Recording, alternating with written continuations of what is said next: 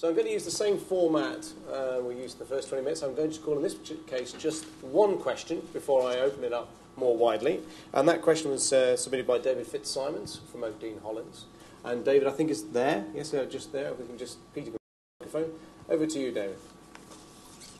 Thank you very much. Um, Julian, I wonder whether you could help us by saying how useful the Courtauld commitment was to you when you had to take the risk internally of trying to convince senior managers at Asda and perhaps Walmart to try a very innovative project, which was the EasyServe project, which you discussed.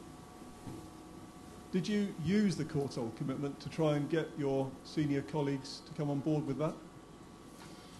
It's a really good question. I think if I go back through um, how we've evolved with WRAP and with from the first Courtauld commitment to where we are today, certainly when we were looking right back at the beginning of Courtauld, we recognised that we needed collaboration to help achieve some of the aims that, that we wanted to achieve. And the Courtauld commitment was a way of saying to the business, if we sign up to this, then it will help plug us in to other like-minded businesses and we can work together to achieve our aims. I think it's been very successful in getting into the psyche around the business, particularly our board directors. So when we look ahead to things like the EasyServe uh, in-store dispensing project, I didn't use Courtauld specifically in order to get the business to approve that project, but we did use the thinking behind it. So it's about collaboration. It's about um, taking a bit of a risk in an area that we don't understand and just pushing it and seeing how far we get and how much progress we can make. So I think actually the answer is wider than your question. Courtauld now is a way of thinking within our business. Courtauld being the shorthand for collaboration, for taking some risks, for making some progress. Good. Okay, now I'm opening up the floor for questions. Gentleman here, about halfway back in the front row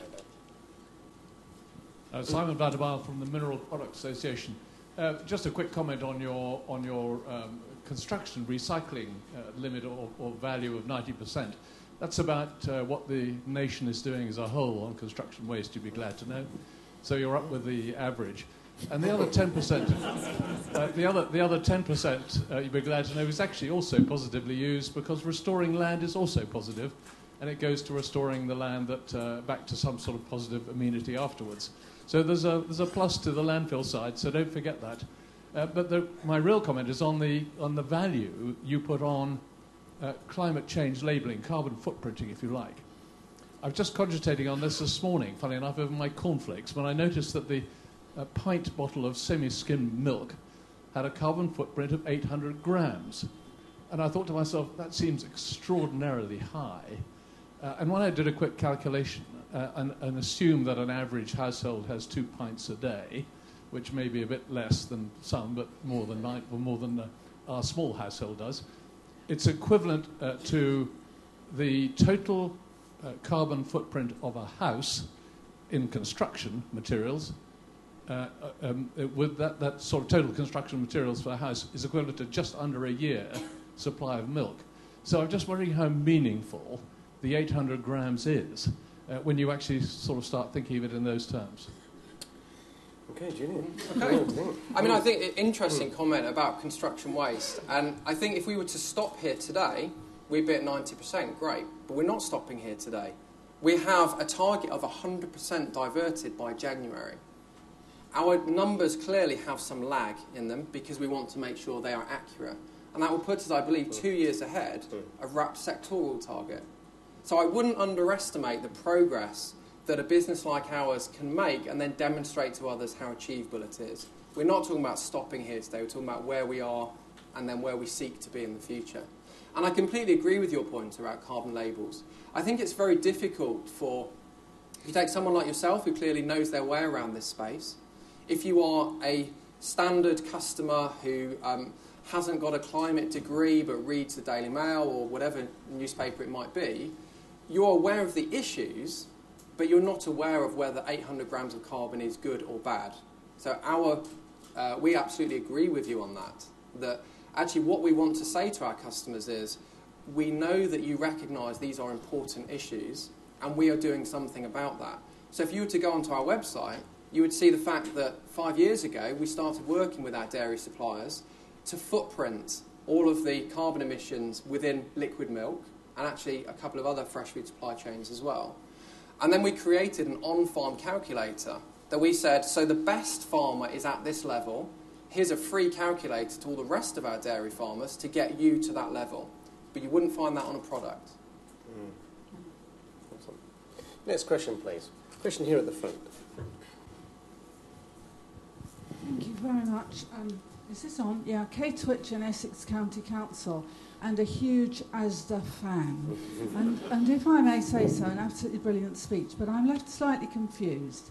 My perception as a, as a housewife shopper type person of Asda is good value, high quality, but essentially good value. That's your label. If I was thinking of the greenest food retailer, I would probably go for Marks and Spencer's. Now, you are clearly doing a huge amount to achieve sustainability um, in your product lines, but somehow you're not capitalising on that in terms of the brand identity. You must be doing that on purpose because you're too smart a cookie to be letting it happen to you by accident. So, what's the thinking behind that? And can you see it changing as more and more people become more green aware and want to do the right thing for the right reason? It's a really interesting area, and it's one that we challenge ourselves with all the time.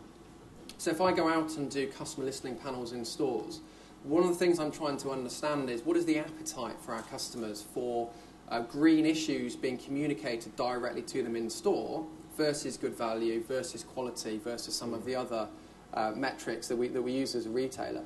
It's absolutely right that value and low price is primary to what we do. We are a value retailer. That's why people shop with us. That's why we have um, so many shoppers, we're 18 million currently every single week. I think you will see us starting to communicate more in store about sustainability. Not on pack, but I think there is work we can do to just get some of our more holistic messages out there to demonstrate to our customers we are doing more and more within this space. Um, I don't want to give too much away sitting here because uh, I know the room's full of our competitors, but you, you will see activity next year that is starting to build on that and that is putting customers right at the heart of what we do on sustainability. And in fact, probably give too much away, but what I want to do is to start to ask our customers what policies we should have and then change our policies based on their feedback so that we truly take that transparency and apply it to the next level within sustainability. And in terms of if you're a customer that particularly wants this kind of information, I do see smart tools being available. So take something like the Sustainable Products Index that gives a rank for a product. Actually, why not be able to take your iPhone or your smartphone, take a picture of the barcode, and then get the information on your phone? If you're the customer that wants that information, we should make that available. So that's in our thinking, but I think putting it on the front of the pack is, is not really where we want to be currently. Well, you heard it first here. Um, now, can I just say there's questions both for Julian and for Liz in this session, and I'll take the next question over the back there. I believe there's one over the corner there, please. Thank you very much. Sorry, this is again for Julian. Sorry, Liz. Can you um, just say who yeah, you are, where you're from? My name's uh, Mark Bannister. I'm Group Environment Manager for New Look Retailers. Uh, quick question for you about your supply chain, and I'm quite keen to understand what your key internal business case was for engaging with your suppliers around sustainability, in particular wastewater and energy. Yeah, again, some, some really good questions today. I think we've got to be very clear that um, I would be wasting a lot of time if I tried to engage every single one of our suppliers. You know, we have, on average, 40,000 products in our stores. We don't have 40,000 suppliers, we certainly have tens of thousands of suppliers based around the world. So what we did was we said we're going to tackle our supply chain mostly from a Walmart perspective. We gave a very clear steer to our Chinese suppliers back in October 2008, and we focus on China because if Walmart were a country, it would be the eighth biggest trader with China. So we take a lot of product out of that part of the world. And we said to them that times are changing. We want two things to happen going forward we will, and we don't often use this word actually with our suppliers, we will demand that they demonstrate compliance with local environmental regulation. So we stipulated on the contracts in all the legal terms that that is a term and condition of doing business with us. Sounds kind of obvious, but actually the ripples through the supply chain from doing that have been very, very interesting. And then we said, and we will provide you with resource to help you come with us on the journey to become sustainable. And clearly, some suppliers won't want to come on that journey because they don't believe it's the right thing to do or they've got a different business model. But actually, we found the vast majority of suppliers do want to come with us. So we actually reshaped our auditing team, our ethical standards team, and said it's not right any longer for them to go out and just audit against ethics. So, uh, child welfare, um, uh, paying conditions, unions, that kind of stuff. We obviously maintained that, but we said we're going to change the focus of that team to be a team that can go in and help support suppliers on ethics and on sustainability. And the auditing function actually can be done by third parties. So that still has to continue and absolutely does continue in an expanded form. So you have the ethical questionnaire, you now have a sustainability questionnaire added on top of that, but the Walmart team is available to go in and help you as a supplier. We've also worked on the ground in China with individual NGOs, and we've hooked up NGOs with those suppliers to put them, uh, to give them access to the information that they need. And we've also helped to hook them up with the finance that they need as well to, to progress down this journey. And then in the UK, we've just done a trial with 30 suppliers where we, we went into their businesses and said, looking at wastewater and energy, exactly as you said, um, how much savings can we make? And we identified at least £3 million worth of savings if we were to go in there today and do that. And we're shaping that up to be um, a project for next year now to take it out of the trial phase and actually deliver that across some of our categories. And then the third area, if you take the sustainability index, it's going to take us some years to get to that holy grail of the one score at the end. So we've created what I tend to, in my mind, call the intermediate index, which is a list of 15 questions that asks our suppliers things like do you know how much energy you use? Do you know what your carbon emissions are? Do you have a plan in place to reduce those? You know, how are you progressing on these kind of areas and this kind of information? And we've actually plugged that questionnaire into what's called Retail Link. Retail Link is our IT system that all of our suppliers get access to, and it tells them what their sales rates are, what their margins are, etc. So we put it at the heart of that fundamental information they need to do business with us and we're requiring more and more that we would like them to complete that. Um, and actually, the uptake so far has been, been pretty good. So, lots of different ways of tackling it. I think we have to do the global slightly different to the local, um, but actually, the path is the same at the end of the day. Thank you very much. Question at the front here.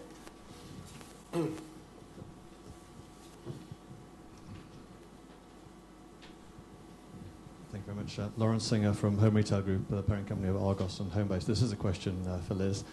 Um, just a comment about um, Julian's excellent presentation and uh, the fact that he mentioned uh, WRAP's um, funding and the importance of helping to fund innovative products. And um, we're very grateful for the, um, for the funding that was uh, received for our innovative reusable sofa bag. Uh, which is saving us at least 1,800 tonnes of packaging a year, and that's, I think it's a really good example of you know, how we can work together. Um, my question to, to Liz is about the uh, spending review uh, and uh, the extent to which uh, this type of funding uh, and, and, this type of resource is still going to be available, especially for um, the Home Improvement Sector Initiative, which, as you know, is hoping to save at least 15% of packaging over the next couple of years, and also to help us uh, with improvements in toy packaging, which I know is close to the Secretary of State's heart. I'm sorry that she wasn't here to, to hear the question.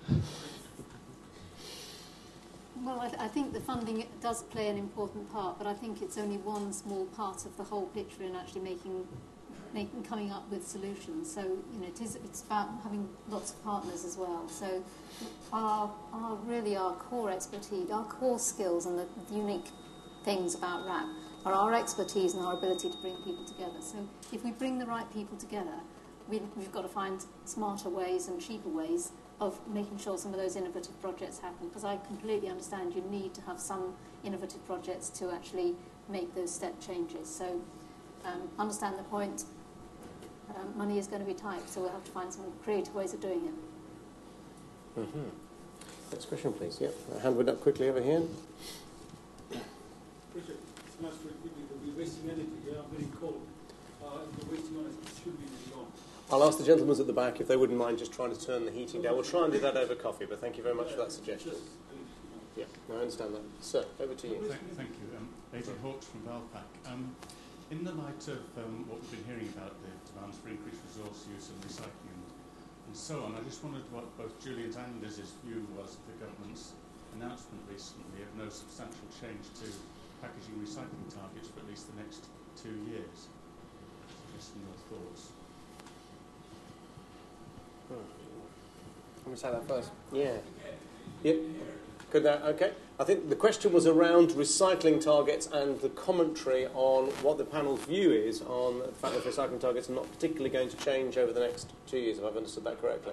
Packaging targets, thank you very much. I'm packaging recycling targets.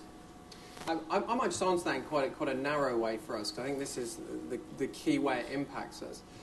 If we're to achieve target one of Courtauld two, which is to, to make a reduction in the carbon intensity of our packaging, I think we're going to need more recyclates within that packaging itself. And I think there needs to be a way of stimulating the market, stimulating the industry, of creating, of capturing and then creating more recyclates. Ideally from within the UK or within Europe, not from, from China. Um, my concern is that those kind of signals from the government don't help to stimulate that kind of shake up that the industry needs to get some of these new materials back for us to use within our packaging. Hmm. Well, I mean, the government went out and consulted, and they took, the respons- they took into account all the responses, and it really it's a matter for government what they decided to do in the end. But I mean, our perspective in, and the approach we're taking with Courtauld is to move beyond weight-based and recycling type target approaches. It's about looking at the overall environmental impact and trying to reduce the env- environmental impact through a whole range of things using recycled content, different materials, whatever. And, and also even extending it up the supply chain as well. So it's, I think it's a much broader issue, and, and you know, packaging recycling figures feels to me like a very narrow, narrow perspective on it. Next question, please. Yes, question here at the back. The, the very the one, the first hand up. Thank you very much. Yeah.